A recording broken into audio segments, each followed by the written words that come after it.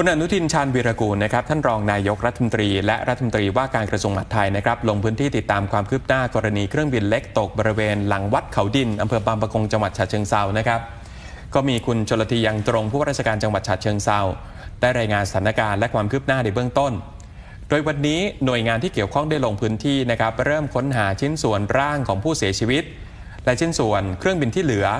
ตั้งแต่เวลา 8 นาฬิกา 30 นาทีนะครับ ซึ่งปรากฏว่าเจ้าหน้าที่ก็ได้นำชิ้นส่วนเครื่องบินที่ขุดขึ้นมาได้ไปรวบรวมเอาไว้ที่องค์การบริหารส่วนตำบลเขาดิน ก่อนจะนำส่งพิสูจน์อัตลักษณ์นะครับ เนื่องจากลักษณะการตกนั้นมีแนวพุ่งปักดินก่อนที่จะระเบิดขึ้น ทางด้านนายพงเทพสิริสวัสดิ์ผู้เชี่ยวชาญพิเศษด้านการปฏิบัติการการบินเครื่องบิน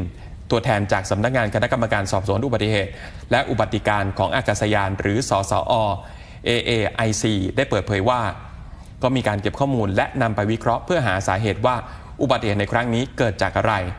รวมทั้งต้องดูข้อมูลย้อนหลังของเครื่องบินที่มีการบันทึกไว้ด้วยนะครับ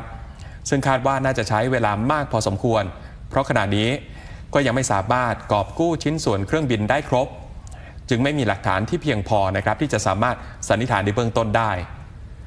สำหรับเครื่องบินลำนี้ครับถูกผลิตขึ้นในประเทศสหรัฐอเมริกานะครับเป็นเครื่องบิน